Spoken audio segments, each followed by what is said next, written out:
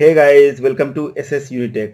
Susil this side and this is continuation of SSIS tutorial.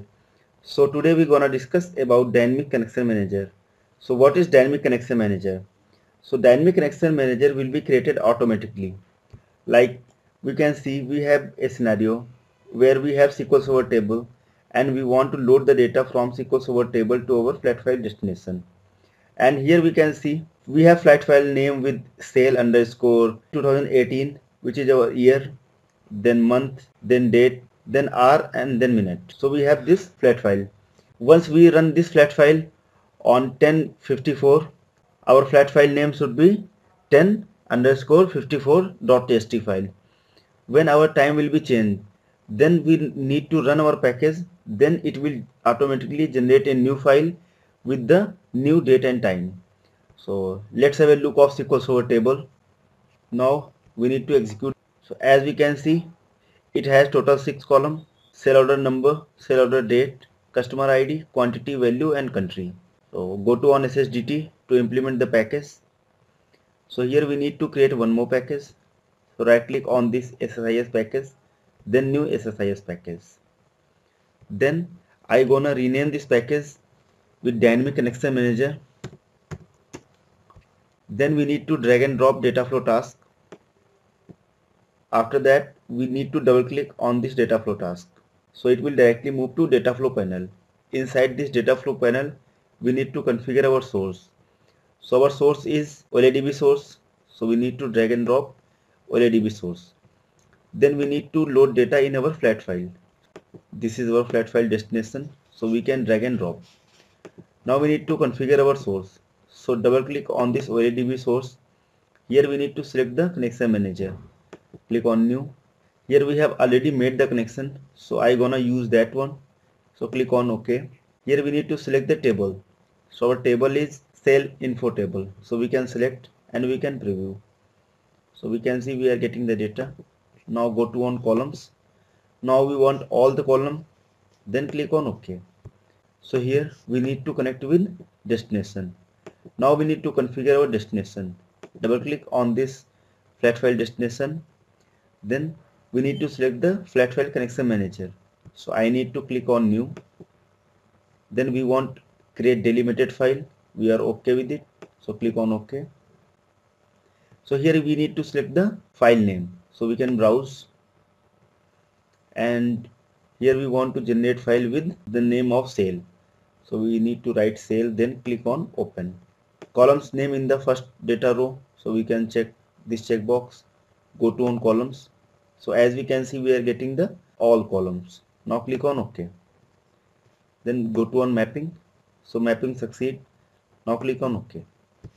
So once we run this package so it will generate a file with the name of sale so after some time once we run this package again then it will not going to create one more file with date and time.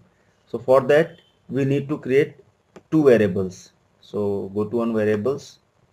So here I gonna use for folder name. So this is our folder name. Data type should be string. So we can select string. And then we need to specify the value. So this is our folder path. So we can copy and we need to paste that in our value. And we can create one more variable with the name of file name. And data type should be a string. So we can select string. Here I am not going to pass any hard code value. So we want to generate the file name at runtime. So go to on expressions. We can click on this. Here in this expression we need to write some code. So first of all we need to write sale and here we can check. So we are getting the sale sale then underscore then we need to concatenate sign which is plus. Then we want to get date and time. So we can use get date for current date and time.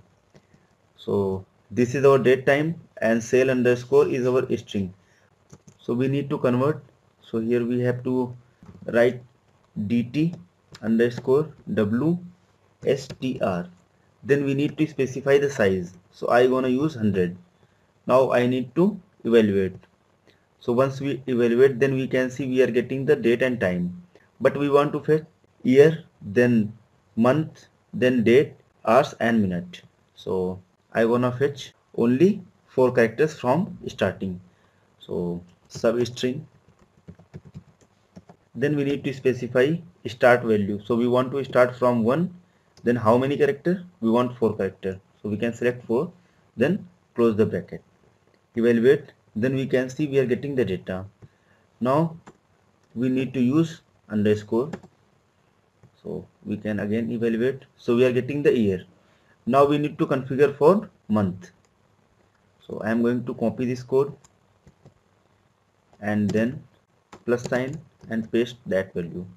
This time we want to get the value from 6 and we want to get only two characters for month.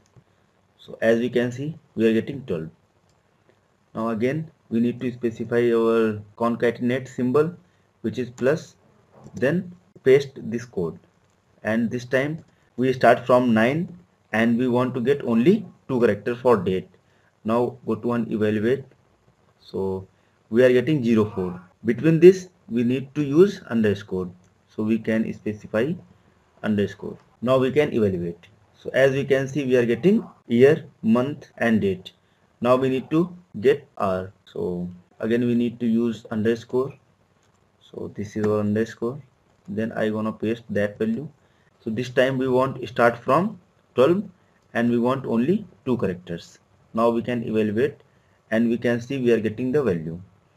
This is for hour now last time we need to use for minute. So underscore concatenate symbol then paste that value. So here we can see we are getting from 12 then we need to start from 15 and we need to use only two character. So we can evaluate and we can see we are getting the minute as well. Now we need to use the file extension. Should be txt file now we can evaluate and we are getting the value. So we can okay. So here this is our file name and this is our folder name. So we have done it. Now we can save this package and go to one flat file connection manager. Then we need to press F4 to get the properties. Inside this property we can see we have expressions. So click on this expression and here we have connection string so in this connection string we need to go on expressions. Then here we have folder path. So we can drag and drop this folder path within expressions. Then we need to use concatenate symbol which is plus. Then we need to drag and drop this file name. Now we can click on evaluate. So this is our folder path. Inside this folder our flat file name should be this and this flat file will be generated now click on ok. Again okay so as you can see time is 11.6 so I gonna run this package. Once we run this package then our file should be generated with the time 11.6 go to one folder. So here we can see we are getting the file with 23 underscore 06 so this is our 11.6 so I gonna stop this package and again run this package when our time will be changed.